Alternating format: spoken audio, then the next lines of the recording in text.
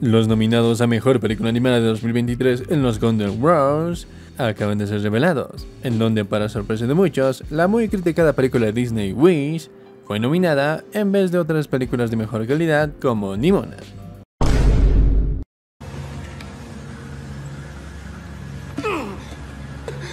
¡Eres un fraude, hombre araña!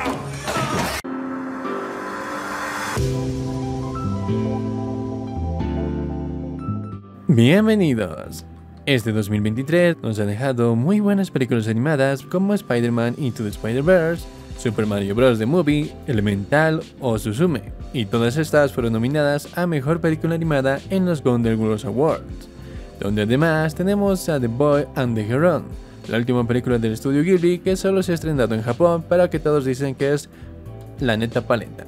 Pero, pero, pero, pero, pero, pero, pero, pero, algo que llama la atención es que también fue nominada la película de Disney Wish. Algo que fue muy criticado por todos, pues esta película tuvo una muy mala recepción por parte de la crítica en su semana de estreno. Y otras películas que fueron muy superiores como Nimona, Las Tortugas Ninja Caos Mutante o Robot Dreams no fueron nominadas, lo que hace muy obvio que Disney pagó dinero o sobornó a los jueces para que Wish fuera nominado a fuerza pues se trata de la película animada que celebra los 100 años del estudio Disney. Y ni modo que no le dé ningún premio, ¿no? Lo que curiosamente invalidaría toda la premiación de los Golden Globes, pues ya se sabe que los jueces están comprados. Y solo puedo decir... Plata, plata, plata, plata, plata. Esto no puede seguir así. Personalmente, si tuviera que elegir a las mejores películas animadas del 2023, diría que Spider-Man Into the Spider-Verse, Super Mario Bros. The Movie y Suzume son las opciones más obvias, pero también pondría Nimona, ya que además de ser una muy buena película, si no es que toda una joya de la animación, también es la última película en ser producida por el estudio de animación Blue Sky Studios, antes de ser cerrado por Disney.